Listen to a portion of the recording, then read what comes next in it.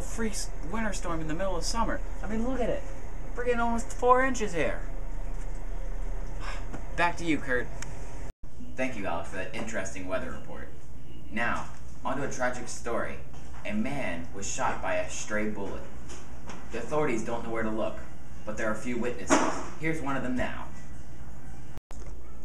I was at the party. About noon, someone fired off a shot. Thought it was fireworks. Guess it wasn't.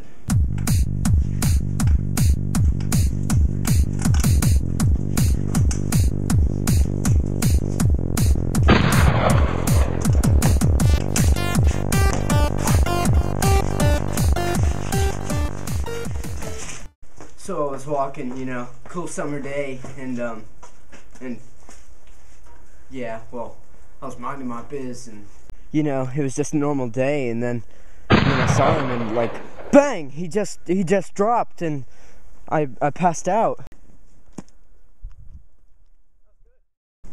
Wow, that's amazing. Nobody even heard a shot that killed a man. That just makes it that much more difficult for the authorities to find.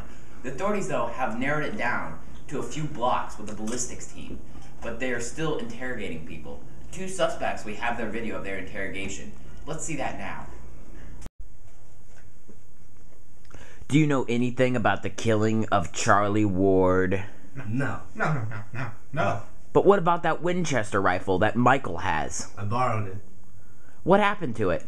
Can I see it? It got stolen. It got stolen. From where? My car. No further questions. If you know anything about this death, please contact the authorities at 1-555-555-555. This is Kurt signing. Hold on, I'm getting some news. It seems the killer has just turned himself in. Here he is now. His name is Michael McKinsey. The guilt was killing me. I had to turn myself in. And this is how I did it. All right, beautiful day, hot summer day in uh, Briarwood. I'm here, and uh, Good place. I'm gonna fire off my new Winchester. I got Michael McKenzie. That's my friend Joe. We're gonna fire this off into the air because it's my birthday. Thanks, Grandpa. Man, look at that sucker go!